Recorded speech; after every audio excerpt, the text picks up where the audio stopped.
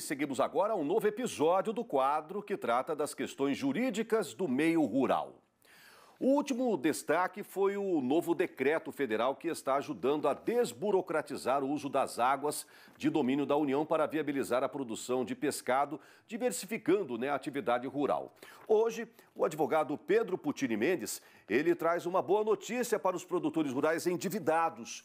Uma nova portaria do governo federal, chamada de Programa de Retomada Fiscal, traz novos prazos e possibilidades de parcelamento tanto do Fundo Rural quanto do ITR, o Imposto Territorial Rural.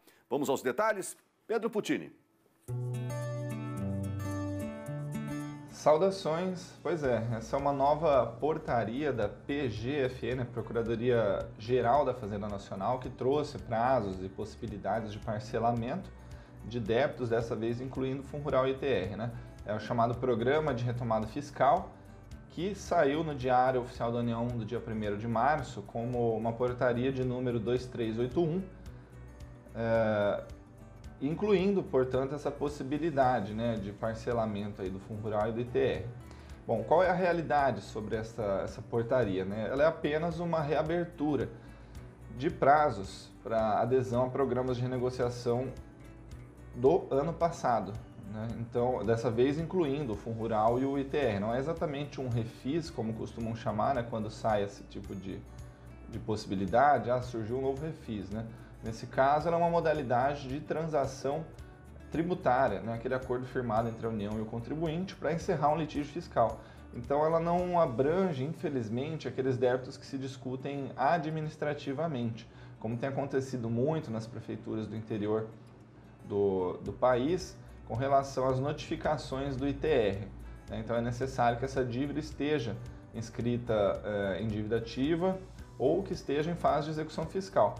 Bom, também foi aberto prazo, acho importante comentar, para renegociar dívidas de crédito rural e do crédito fundiário, aquele que nós já falamos aqui em uma edição do Direito Agrário, o crédito que é utilizado para compra de terra, né, para aquele que não tem recurso financeiro e deseja ser proprietário, produtor, né, então, é, entre setembro a dezembro de 2020, esse programa, no ano passado, somou mais de 1,8 mil acordos e totalizou mais de 1 bilhão né, de reais.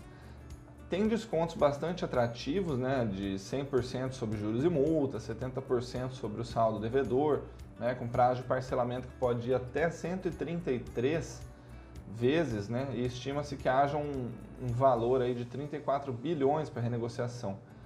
É, para pessoas físicas ou cooperativas, haverá uma entrada de 4%, salvo engano, né, do valor consolidado, e o restante vai poder ser parcelado aí de 36 a 133 vezes, e para pessoas jurídicas, descontos que vão de 35 a 50% sobre o saldo devedor, né? nesse caso de 36 a 72 meses.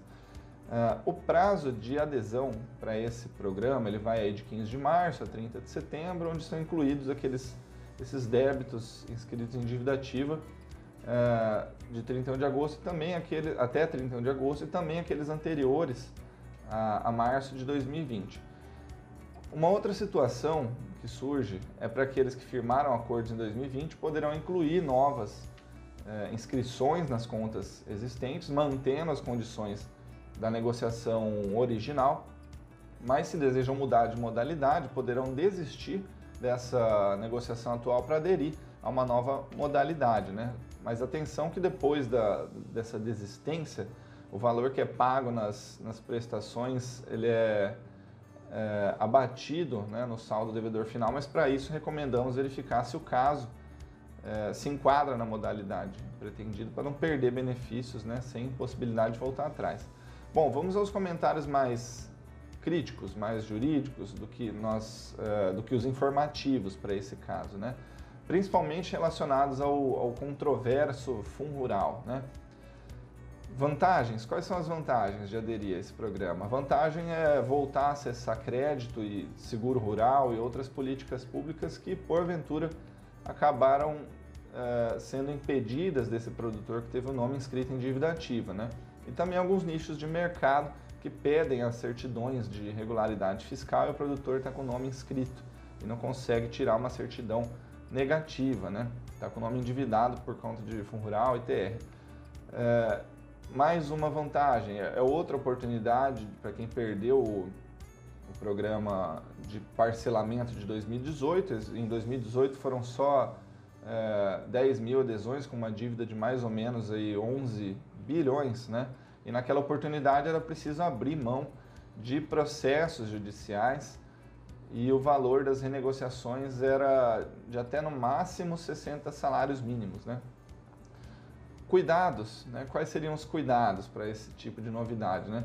Ficar cada vez mais distante do objetivo, que é extinguir ou perdoar aqueles débitos do Fundo Rural, né? Então, esse tipo de novidade me traz essa sensação de que cada vez estamos mais distantes, né?